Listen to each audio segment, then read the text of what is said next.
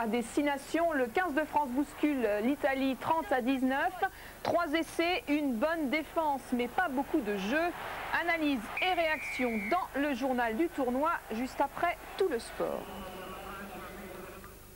Bonsoir, en attendant le rugby du foot, Lyon-Bordeaux, 28e journée de D1. Cela fait 8 ans que les Bordelais n'ont plus gagné à Gerland.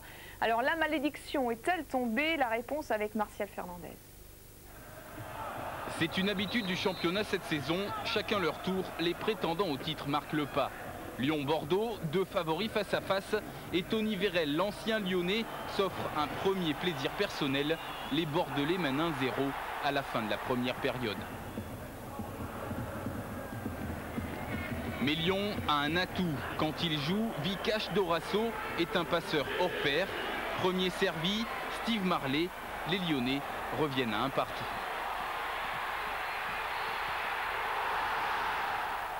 Dorasso ou l'envie de bien faire après Steve Marley, c'est Sonny Anderson qui profite du service pour un essai presque parfait. Dorasso, Anderson, un duo finalement réussite, 81e minute de jeu. Le Brésilien marque son 14e but en championnat cette saison. Lyon l'emporte 2 à 1 et se replace dans la course au titre.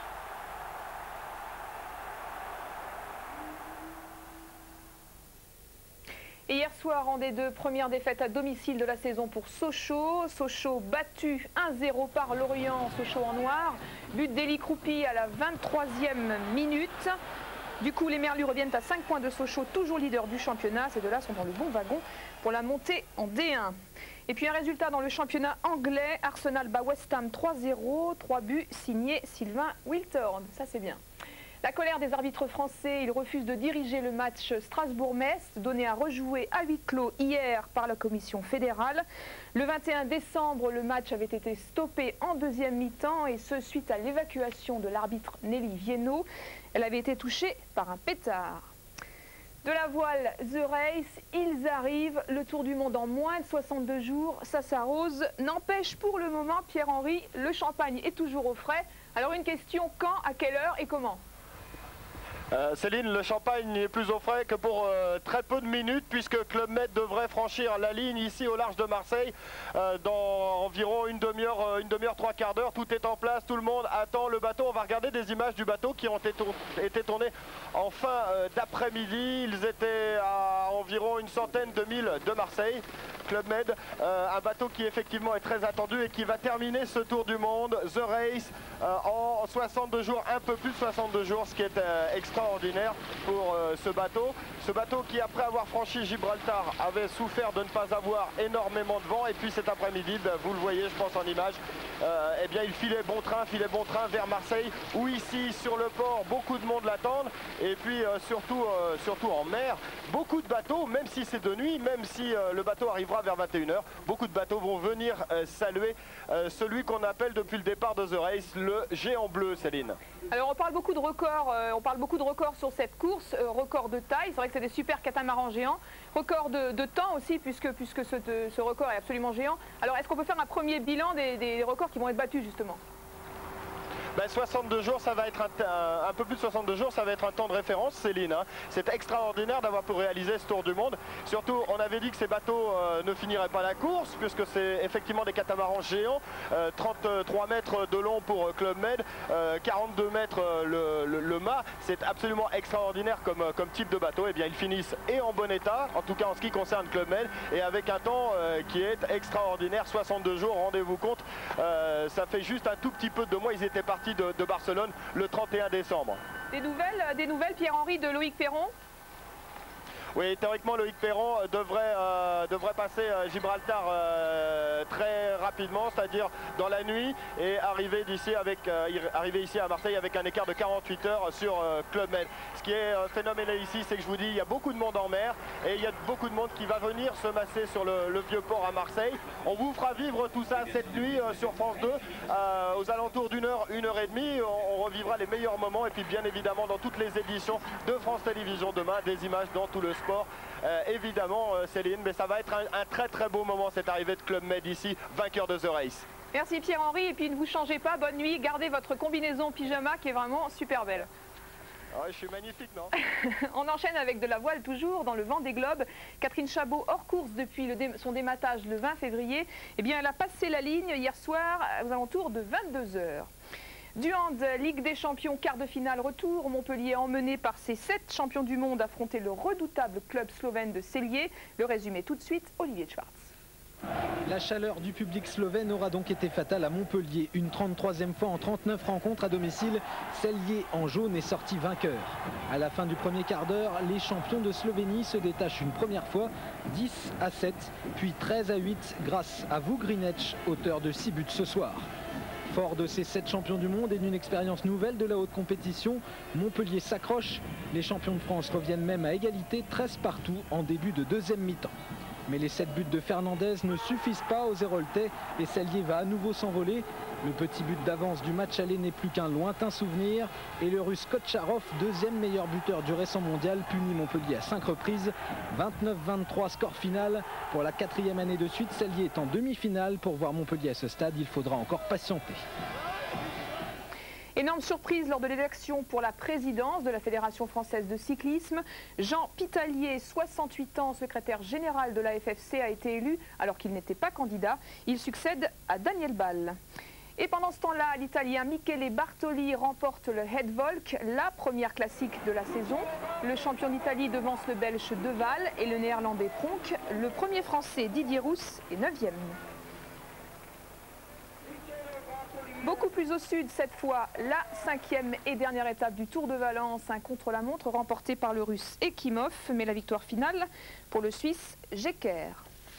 Herminator a encore frappé en Norvège. L'Autrichien Hermann Mayer remporte sa troisième Coupe du Monde générale, le plus prestigieux des globes de cristal, Marie-Christelle Maury.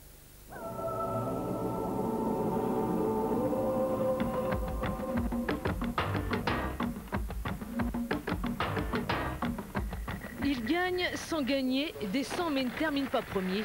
Herminator trompe toutes les lois de la gravité. Cinquième aujourd'hui, l'ennemi écarté, la CQ 11e à l'arrivée. Fin du voyage, le troisième globe de cristal au général est assuré pour Hermann Mayer et de trois comme Stenmark et Filmar il y a des années. Dix victoires cet hiver, un championnat du monde à oublier. À cinq courses de la fin de saison, l'homme masqué a bel et bien prouvé qu'il est un gros costaud. Un globe de cristal en poche, celui de la descente en revanche n'est toujours pas gagné. Passé en tête hier, Mayer vient de se faire reprendre l'honneur par Stéphane Eberharter, vainqueur aujourd'hui et de nouveau premier au classement. Deuxième, comme hier, l'Allemand Florian Eckert, troisième Fritz Strobel, le premier Français Sébastien Fournier est quatorzième. Demain, à l'occasion du Super G, Hermann Mayer pourrait s'octroyer sa onzième victoire cette année et remporter ainsi, en vengeur masqué, la Coupe du Monde de la spécialité et la caméra embarquée sur les skis, impressionnante. On enchaîne avec du biathlon, la Coupe du Monde à Salt Lake City, l'épreuve de la poursuite et la troisième victoire en trois jours pour lui. Le Norvégien Björn Dahlen, le Français Raphaël Poiré prend la quatrième place mais conserve la tête de la Coupe du Monde. Corinne Niogret prend la troisième place, elle, en poursuite féminine. La Formule 1, le premier Grand Prix de la saison avec un chiffre 33, comme 33 pôles position pour Michael Schumacher. Cette nuit à Melbourne, le champion du monde allemand partira en première ligne. Il égale ainsi le record de pôle de Jim Clark et d'Alain Prost. La grille de départ avec le Brésilien Barrichello. Olivier Panis de retour en F1 prend la 9e place. Jean Alési partira lui en 14e position. Demain, 14h45, non 16h45 sur France 3, euh, si vous aimez la glace, vous allez être gâtés. Les meilleurs patineurs sont à Lyon pour une compétition inédite, inédite pardon, le top jump. Explication Paul Perret. Dans cette compétition d'un nouveau genre, vous ne verrez ni pirouette, ni série de petits pas, mais des sauts. Encore des sauts, rien que des sauts. Le principe de l'épreuve est simple. Chaque saut ou combinaison de sauts est noté par un panel de 7 juges. Si le patineur obtient la moyenne, 2 sur 4, il est alors autorisé à poursuivre la compétition. Il existe 8 niveaux de difficulté, le nec plus ultra, le dernier étant le quadruple en combinaison. Impression. C'est quelque chose de magique, c'est quelque chose que l'on attend depuis très longtemps et puis tout d'un coup, une, petite différence entre le saut d'avant et ce saut-là, c'est quelque chose de magique, c'est difficile à, exprimer, c'est toute la journée à chanter dans sa chambre parce que c'est vrai que c'est le sommet du patinage donc c'est vraiment quelque chose d'extraordinaire. Des six sauts existants en patinage, deux ont déjà été réalisés sous forme de quadruple flip, c'est presque réussi ici, et le Lutz pourrait connaître ce dimanche leur heure de gloire. Et demain à 14h50 sur France 3, ne manquez pas non plus le duel Nancy-Villeurbanne, un super match. Tout de suite, restez avec nous, le journal du tournoi avec Laurent Belay. Tous les essais, toutes les réactions, à tout de suite.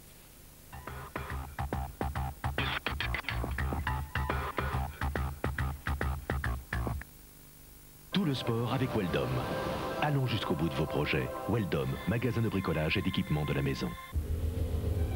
Tu as un monstre au fond de toi.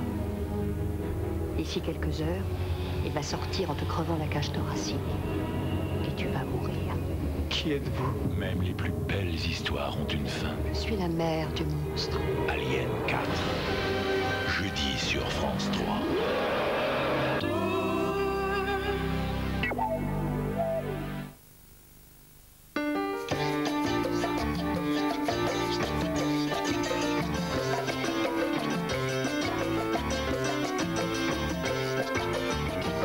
Agila est si grand que 8 personnes peuvent s'y installer confortablement. Ce n'est pas parce qu'il est petit qu'il n'est pas grand. Ah ah Opel Agila, à partir de 49 900 francs. D'abord. Ensuite. Ah ah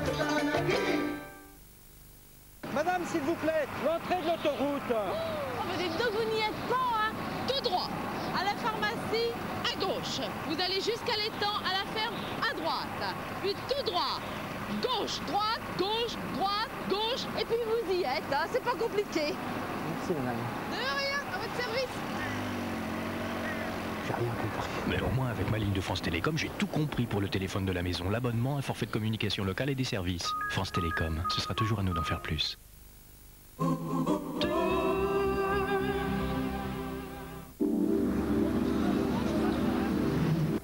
Résister, ils sont battus. J'ai donné un coup de volant. Ce soir sur France 3. Je suis parti. Une sorcière. Vous êtes une sorcière aussi On a été élevés dans une certaine tradition, mais rien d'extraordinaire. Balade comme des pantins. On a peut-être affaire à un illuminé qui veut réveiller les dieux celtes par des sacrifices humains. C'est tout le clan Le Guenec que je vais faire exploser. Ce soir, on les emmerde. Tous suspects, tous en danger. On en a trouvé une quatrième. Comment une vieille histoire de famille a-t-elle pu nourrir tant de haine? L'affaire Kergalen, ce soir et demain à 20h40 sur France 3. France 3, à la rencontre du rugby. Avec Société Générale.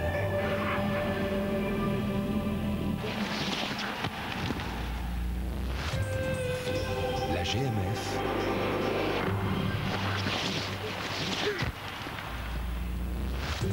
Et France Télécom. Partenaires officiels du 15 de France.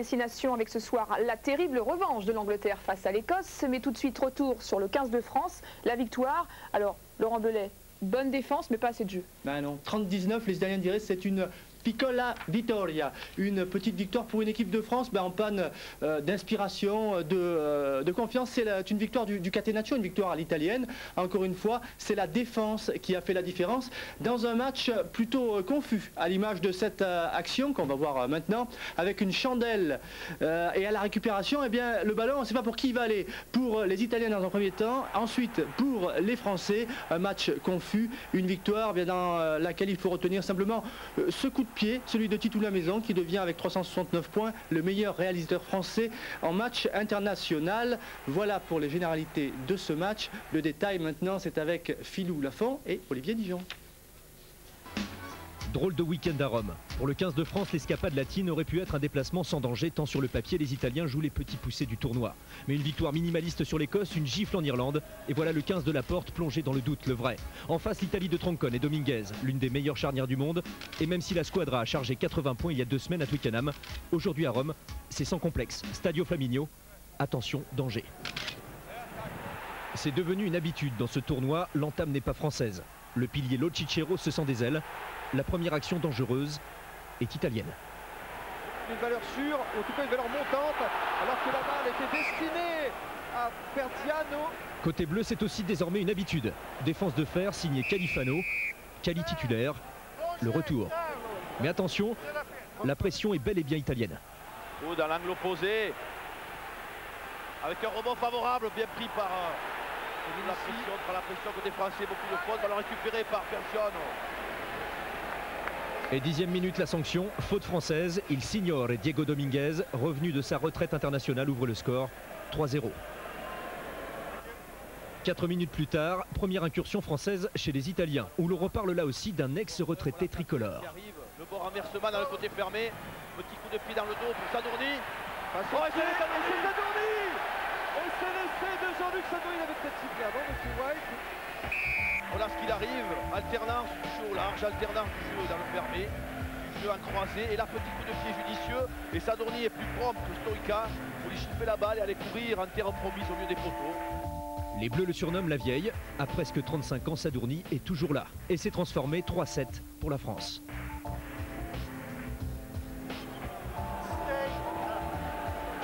Satisfaction chez les Bleus.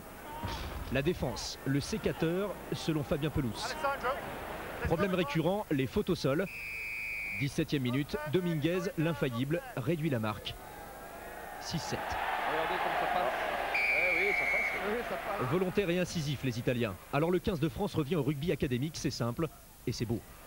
Oh la belle percée de Sadourny Oh, il y a Sadourny encore, il va cadrer. Il va servir Bernathan, essaie de Bernathan sûrement. Car il a des jambes et on ne pourra pas le rattraper.